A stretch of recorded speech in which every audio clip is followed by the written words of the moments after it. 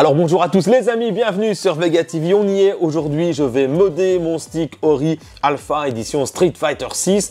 Euh, pourquoi? Bah, Tout simplement j'ai fait une vidéo hein, sur ce stick, pour ceux qui n'ont pas vu, bah, allez jeter un petit coup d'œil. Mais pour résumer, je l'aime bien, mais ce que je n'aime pas du tout ce sont les boutons Hayabusa, ça ne me convient pas du tout, je préfère du Sanwa, éventuellement du Seimitsu. Et le stick, bon bah voilà, ça va, mais ça vaut pas du Sanwa non plus, c'est aussi un stick Hayabusa qui est monté dedans d'origine. Donc j'ai décidé de le modder full sanois, complètement sanois, donc bouton sanois et stick sanois. Je vais faire ça calmement dans la vidéo. Donc ça veut dire que je vais structurer tout ça. Si vous avez besoin de faire le, même custom, le même mode que moi, bah, n'hésitez pas à suivre la vidéo par chapitre. Je vais chapitrer. Donc je vais commencer par vous expliquer ce dont j'ai besoin en termes de matériel. Et puis alors ensuite, je vais vous montrer comment j'ai fait pour euh, faire un, art set moi-même, hein, puisqu'on sait le remplacer. Euh, et puis alors, je vous montrerai comment on monte tout ça. Et puis on fera une petite conclusion pour voir ce que ça donne stick en main et pour voir si c'était vraiment aussi facile qu'annoncé de modder ce stick Street Fighter 6 Ori. C'est parti, en avant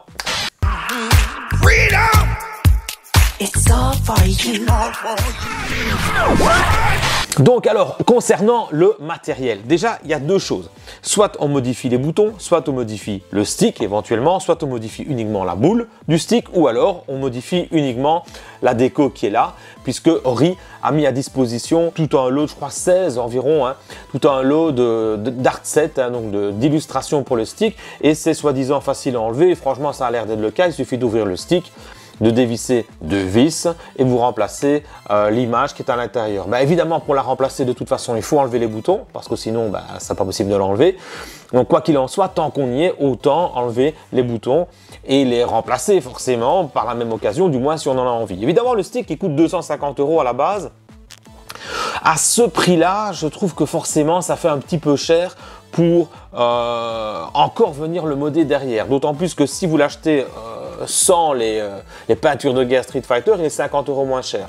Si vous ajoutez à ça bah, les boutons, le stick, etc., vous en avez vite pour 50 boules, plus éventuellement une impression pour l'art set. Bof.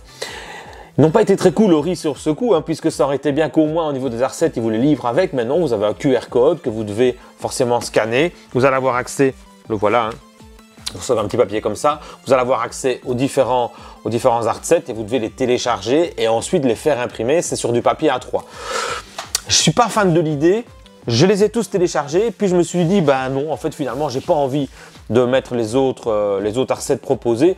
Soit je laisse celui-là, soit j'en fais un moi-même. Donc j'ai gardé les codes de la, des recettes proposées, puis j'en ai fait moi-même. Bon, bah, voilà quelques-uns, quoi. Je les ai, je les ai dédiés euh, à la chaîne du coup Vega TV. Donc ça, c'est une illustration que j'ai trouvée, que j'ai isolée, euh, de Camille, je trouve sympa. Donc soit je vais mettre celui-ci, ou alors j'ai pris, euh, j'ai pris qui n'a rien à voir avec l'univers Street Fighter 6 évidemment, puisque là c'est l'univers euh, Neo Geo King of Fighters. Euh, bon voilà, je trouve qu'il est plus beau celui-ci, donc j'hésite. Est-ce que je reste dans le monde Street Fighter 6 Est-ce que je, je, sors et je pars dans le monde Neo Geo? On s'en fout finalement. Je vais voir, je vais essayer les deux, voir un peu ce que ça donne. Voilà, ça c'est une chose. Donc ça c'est à imprimer évidemment. Au niveau du matériel, ben, moi, j'ai pris un stick sanois puisque c'est ce qui me convient le mieux, hein, c'est ce que je préfère. J'aime aussi Seimitsu, mais c'est quand même plus dur. Ça, c'est un peu plus soft et euh, sur les longues parties, en fait, je m'amuse mieux avec le sanois. Voilà, c'est une question de ressenti. Euh, le modèle de stick, je vais vous le mettre. Hein. Moi, j'ai commandé tout ça chez Small Cab. C'est donc un site français très sérieux pour moi euh, en termes d'arcade, de matériel arcade ou de stick, même pour modder un, stick. C'est ce qui se fait de mieux comme boutique. Donc je vais vous mettre le lien en, description de la vidéo. Donc voilà, ce sont les modèles JLF euh, de chez Sanwa. Bon bah ici il n'y a pas besoin de prendre quoi que ce soit, il faut juste une broche un pin à 5 broches ici, euh, puisque c'est comme ça que vous allez le connecter à l'intérieur. Pour le reste, bon, normalement, ça devrait se mettre. On va voir, on va voir, je sais pas. Hein. J'en ai des autres sinon pour essayer. Alors pour les boutons, bah pareil, j'ai pris des sanois. Ici, j'ai pris des transparents. Bon, ça, ça, ça a l'air hyper simple à remplacer, évidemment. Hein. Vous allez voir, je vais vous monter tout ça. Donc du coup, bah, forcément, il en faut 8.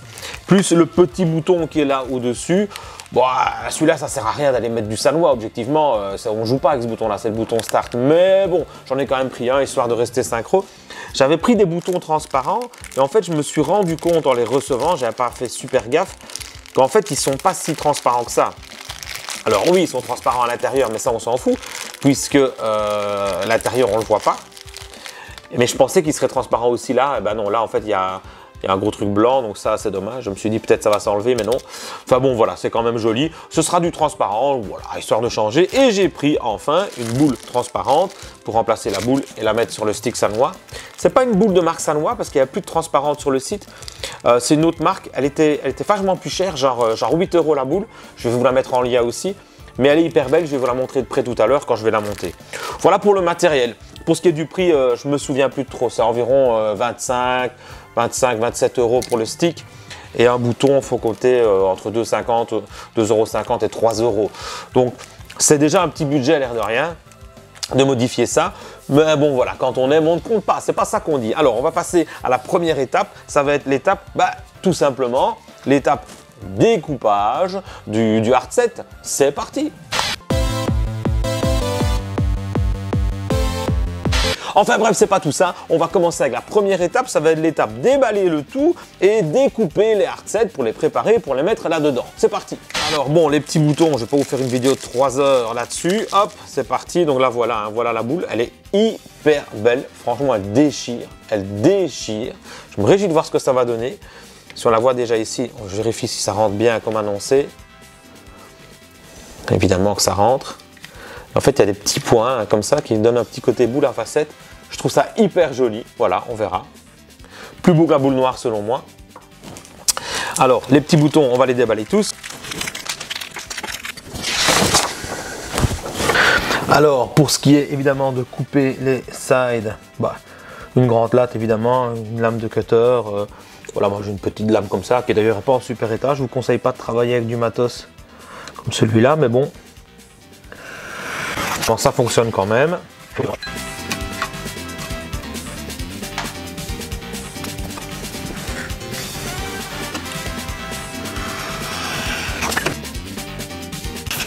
Spécialement hyper euh, ravi des, designs que j'ai fait. Euh, je les ai faits, je vous promets, là en 5 minutes. Juste pour dire quoi, j'étais un peu pressé. Donc euh, voilà, je ne sais pas si je vais laisser ces illustrations là. Bon voilà, alors ça c'est bon. Maintenant, il va falloir faire les contours, là, les ronds.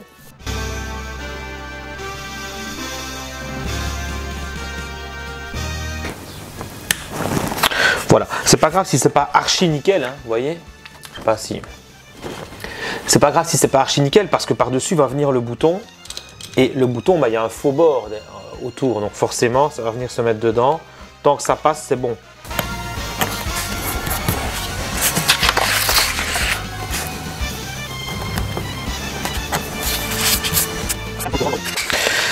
Les deux premiers, c'était un peu hasardeux.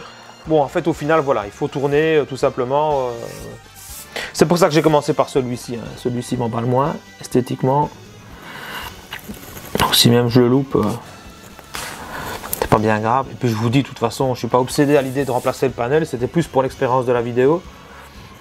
Au final, celui d'origine me convient, je m'en fous un peu. C'est surtout la prise en main qui m'intéresse. Donc l'outil qui va bien, c'est ça. Donc un espèce de, de cutter mais euh, qui se tient comme un, comme un stylo. Donc je vais vous mettre un lien aussi hein, si vous voulez acheter un truc comme ça. C'est utile pour tout, hein. franchement je l'utilise très souvent, même pour unboxer, pour ceux qui ont déjà suivi la chaîne.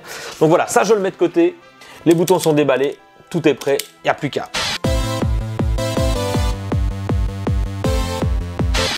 Bon alors voilà, voici maintenant l'étape principale. Hein. On va ouvrir le stick. On l'ouvre tout simplement ici. Voilà, on voit les entrailles de la bête. Et ici, il va donc s'agir de euh, enlever les boutons, enlever le stick pour pouvoir remplacer tout ça. Donc c'est pas très compliqué. Vous avez de toute façon tout un câblage qui est fait en couleur et le, câblage est repéré au cas où vous y perdriez.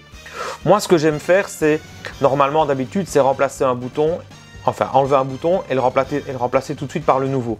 Ici, ça va pas trop être euh, d'actualité puisque je dois les enlever tous pour enlever la déco qui est là la déco qui est ici. Pour enlever cette déco, bah, en fait, il s'agit d'enlever les vis qui vont être, je suppose, ici ou là. Je vais voir, je vais voir comment ça va se mettre. Mais bon, donc ici, je ne vais pas remonter tout au fur et à mesure. Je vais tout débrancher, remplacer et puis remonter. C'est pas grave puisque, comme je vous le disais, tout est bien noté là, tout est repéré. Donc on sait que les câbles mauves, ils vont aller ici au-dessus. Donc en effet, on voit bien que le mauve, il est là. Le noir, il est en dessous. Le rouge, il est là. Deux rouges, deux oranges, deux jaunes. Si vous vous demandez tiens, comment ça se fait qu'il y a chaque fois deux câbles par bouton, en fait c'est tout simplement parce qu'il y a un câble pour le signal et chaque fois il y a un câble pour la masse. Et s'il n'y a pas de masse, bah, du coup, euh, le, courant ne passe pas, le signal ne passe pas et ça ne fonctionne pas. Même chose ici, là il y a une masse et puis alors il y a les quatre directions. Alors ici, on voit que c'est le rouge vers le haut. Il ne faudra pas que je le mette à l'envers. Quand je le remettrai, bon ok, voilà, rouge vers le haut. On retient ça comme ça et ça va aller. Alors il y a un truc assez classique, hein, on peut commencer par le stick. C'est que pour enlever la boule d'un stick, il faut tenir la vis fermée. Et puis alors, hop, on fait tourner la boule de l'autre côté. Ça tient. On, on, force sur la boule, pas sur la vis ni sur le tournevis. Donc là, je dévisse la boule de l'autre côté, comme vous vous en doutez. Parce que sinon, ça ne passera pas. Et la voilà. Donc ici j'ai pris une petite boîte de côté pour y mettre toutes les pièces, surtout les vis. Prenez toujours, on prend souvent des petits bacs à glaçons parce qu'il y a des compartiments. Bon ici, bon, euh, j'aurais pas beaucoup de vis donc c'est pas bien grave. Mais bon quand même, les objets j'aime bien les mettre là. Voilà, je récupère une boule noire. Normalement c'est compatible avec tous les sticks, je sais pas, on verra. Donc quand ça c'est fait ici, il s'agit de dévisser maintenant le tournevis. Je vérifie là, voilà, regardez. Hein.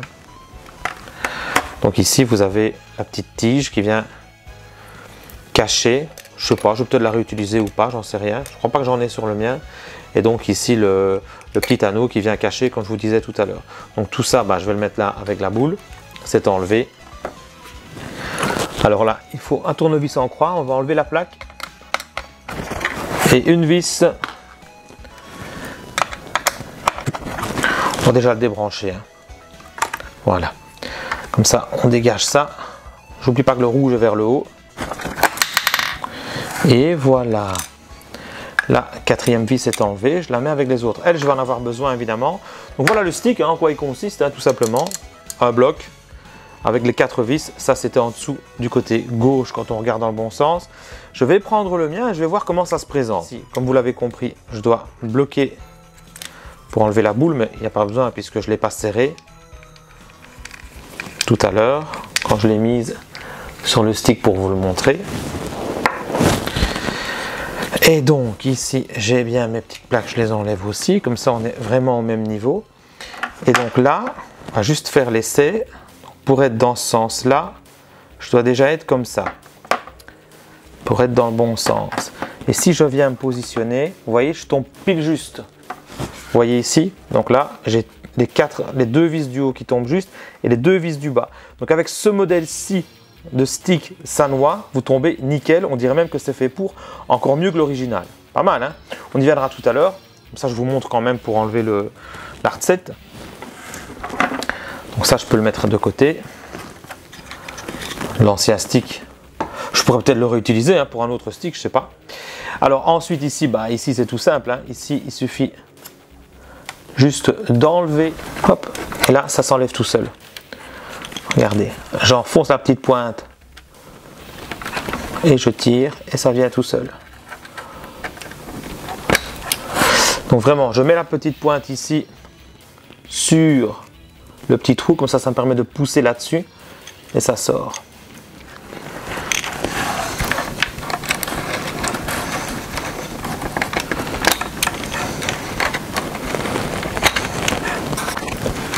Faites bien ça, hein. sinon vous allez faire de la boucherie, vous allez arracher vos câbles. Parce que comme ça, ça vient vraiment tout seul.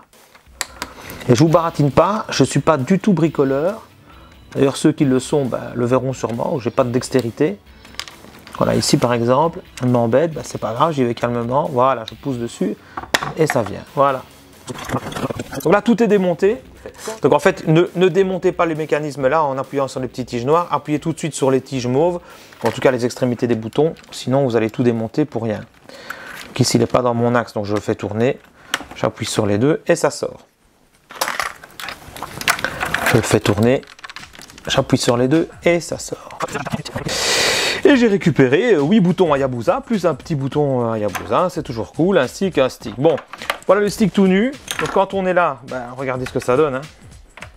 Je pas tout péter, pas écraser.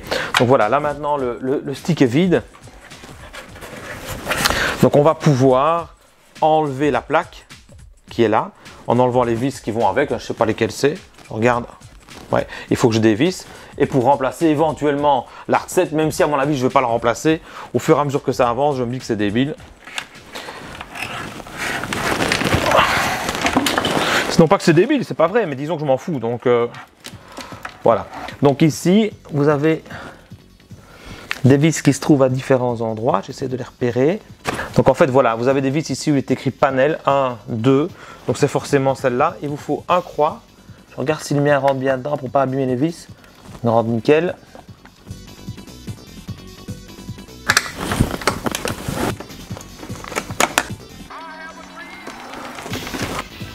C'est même pas d'être adroit ou d'être patient, ça c'est un fait, mais il faut pas être trop patient et trop adroit.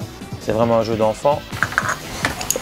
C'est bien d'avoir un tournevis aimanté. Le mien l'était, mais. Et voilà. En voilà une qui est tombée du mauvais côté. Voilà. 6, 7, 8. Normalement, ici j'ai enlevé toutes les vis qu'il fallait enlever. On va voir. Voilà. Donc ici, euh, je sais décaler là. Voilà. Donc quand j'ai enlevé mes 8 petites vis, je sais enlever la plaque ici. Et là, je peux accéder au hard set qui est proposé d'origine. Voilà comment il se présente. Hein. Donc évidemment, si je prends le mien, en fait, je me rends compte que je dois le couper, les miens. Et ça, j'avais oublié déjà. Donc en fait, quand j'ai dessiné les miens, j'ai pas tenu compte du fait qu'ici, j'avais un rectangle. évidemment.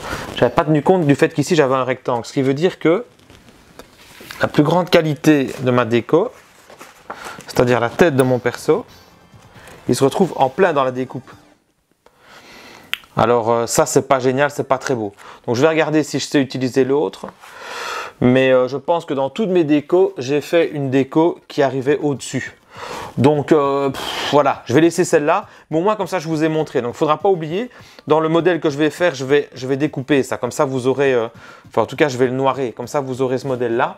Euh, le bon modèle pour le faire. Moi, je vais laisser celui-là de toute façon. Mais vous avez vu comment il fallait l'enlever. Donc c'est juste la feuille qui vient là. Elle est déjà épaisse. Hein. C'est déjà fort cartonné comme, comme feuille. Moi, j'avais fait, fait, ça sur de l'A3 un peu plus épais. Mais à mon avis, ça ira. Hein. Ça, c'est pas un souci. Voilà, on met là. Hop, il va venir là. Et après les boutons seraient venus dessus, ça aurait, ouais, ça aurait été sympa quand même. Hein. Ça aurait pu être sympa hein, quand même. Hein. Mais bon, voilà, voilà, voilà, voilà. En fait, ce qu'il faut, c'est que dès lors que vous avez démonté votre stick, vous prenez votre modèle, vous le positionnez dans ce sens-là. Prenez votre modèle, vous le positionnez. Voilà. Et après, vous découpez. Et comme ça, vous avez le truc parfaitement à la bonne taille. Vous avez un gabarit. Enfin bref, pour le remettre, donc alors vous allez ouvrir ici évidemment, n'oubliez pas d'ouvrir votre plastique, vous venez remettre votre petite déco. Voilà. Remettez bien. Et le, le, le, le plexi. Voilà. Ça retombe bien facilement, ouais, voilà, je n'ai pas dû me prendre la tête, hein, ça se met. Je reclipse tout ça. Évidemment, derrière, on vient remettre toutes les vis où il y est écrit panel, toutes celles que vous avez enlevées. Hein. Et eh bien voilà, on est parti pour maintenant la phase ultime, c'est-à-dire remonter les sticks et les boutons. Alors on va commencer par le stick évidemment, j'avais dit le rouge vers le haut, donc le câble rouge vers le haut.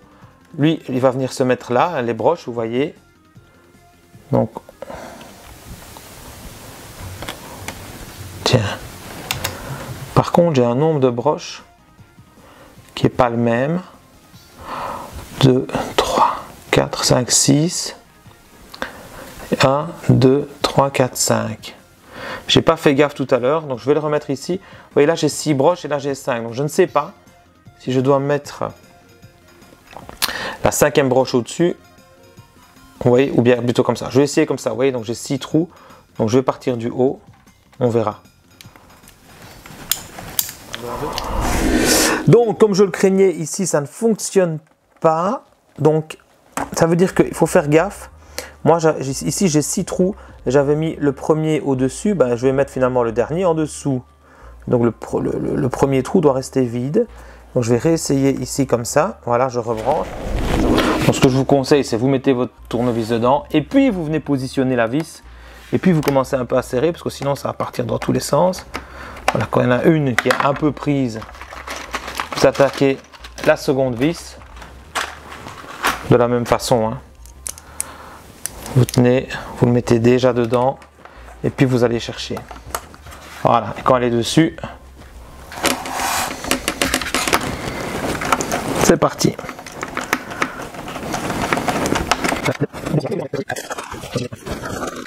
Le stick c'est fait. Ensuite, on continue avec les boutons. Bon, ben, les boutons, ça, on s'en fiche. Il hein. n'y a pas de sens, hein, que ce soit là ou là, euh, peu importe. Donc ici, ben, on peut se contenter de appuyer. Hop, on les reclipse. Alors, je vais les remettre, euh, je vais les remettre tous et après, je vais les, je vais les refixer. Hein.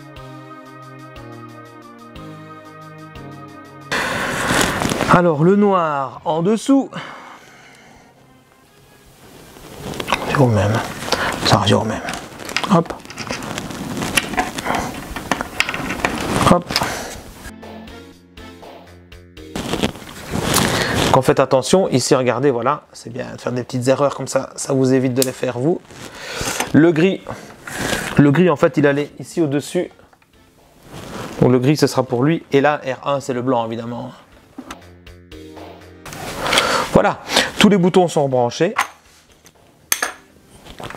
On a toujours ce câble qui est là.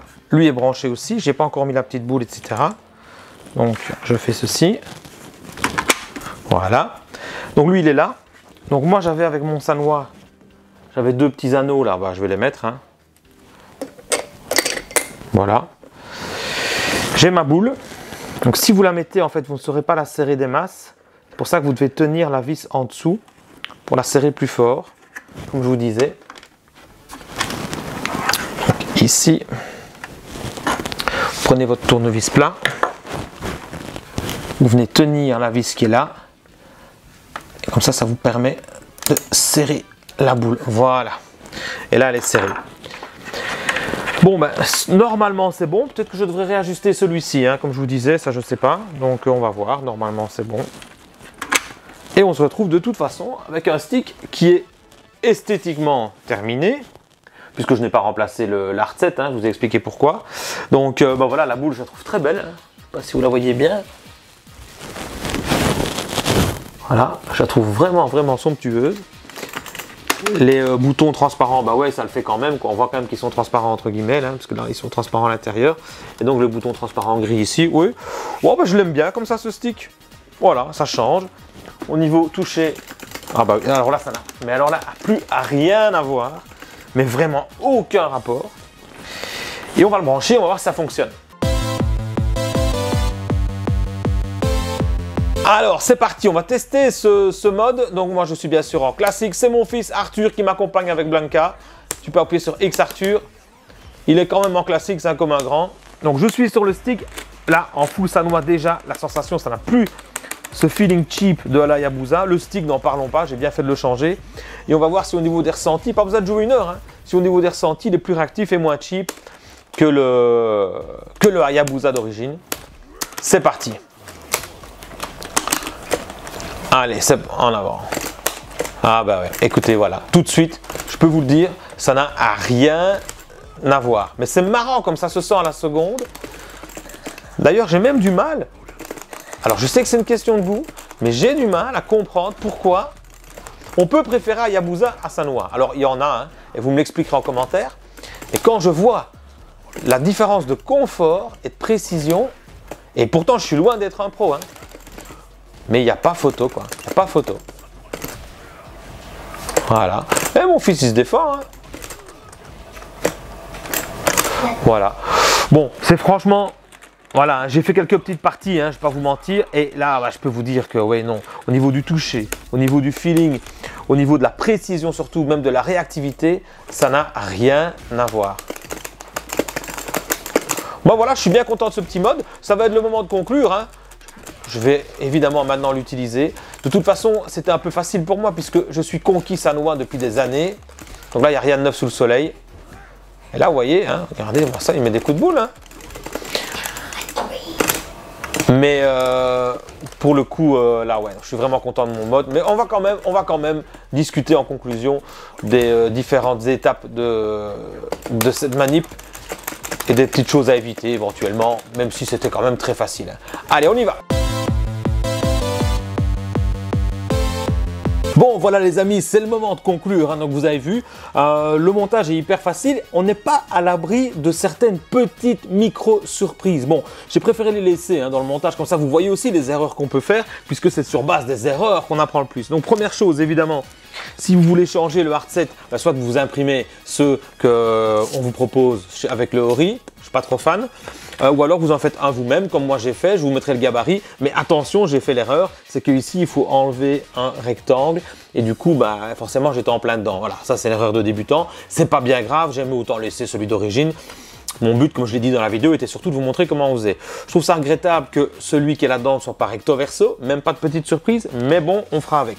Ça, c'est une chose. Pour ce qui est des sticks, bah, j'ai juste eu une petite surprise pour ce qui est du stick ici, puisque j'avais six broches euh, je pouvais mettre 6 broches dans mon stick sanois. Il y en a 5 ici. en fait, il faut laisser libre celle du haut. Voilà, moi au début, j'avais mis, j'avais mis d'abord justement en partant du haut. J'avais une chance sur deux. Bon, voilà, ça c'est peut-être une petite erreur qu'on peut faire, mais ça se, ça se récupère en 10 secondes puisqu'il suffit d'ouvrir, enlever la fiche et la remettre dedans. Les boutons, rien de plus simple. Euh, le petit bouton aussi, tout fonctionne nickel. Et franchement, je peux vous dire, entre le Sanwa et le Hayabusa, il n'y a pas photo. Alors oui, c'est une question goût, je suis d'accord avec vous, mais là pour le coup, pour moi, ça dépasse le goût. Si on essaye les deux, il n'y a pas photo. Là, on est vraiment 10 crans au-dessus. Et là, ce stick, il devient vraiment intéressant. D'autant plus que je vous ai dégoté un petit stick là, le petit Wingman Converter, un petit module qui vous permet donc de mettre ce stick PS5 sur votre Xbox. Lui, il coûte moins de 60 euros. J'ai payé 57 euros. Il vous permet de mettre votre stick, mais aussi n'importe quelle manette PS5 euh, ou PS4 euh, sur votre Xbox Series, euh, Series X, Series S. Donc en fait, ce stick, oui, voilà, 250 euros de base, c'est pas donné. Voilà, il y a la petite déco street si on aime bien, ou sinon il coûte 200 euros si on n'a pas la déco street. Euh, ça reste le même stick. On achète quelques boutons, on achète un stick. On en a, oui, voilà, 8 euh, fois 2, 3 euros, plus 25 euh, euros plus ou moins ici.